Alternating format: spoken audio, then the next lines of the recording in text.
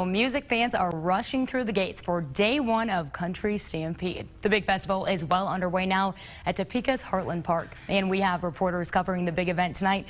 And we begin with Fox 43 News reporter Reyna Garcia, who takes us backstage looking into the safety efforts taken this year. Well, it's definitely a hot one out here today. Now, I don't know if you can notice, but uh, I'm sweating bullets out here. And unlike a lot of the folks behind me, I've only been out here for a few hours, whereas many of them have been out here since the gates opened. People have been doing whatever they can to stay cool, from wearing hats to carrying around umbrellas. But the big key in all of this is staying hydrated.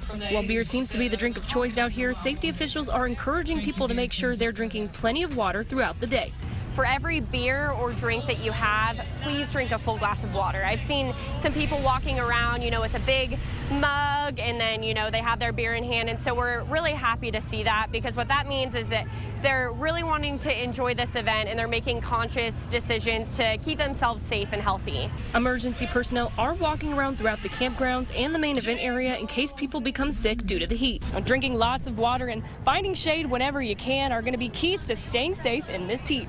In South Topeka, Reyna Garcia, Fox 43 News.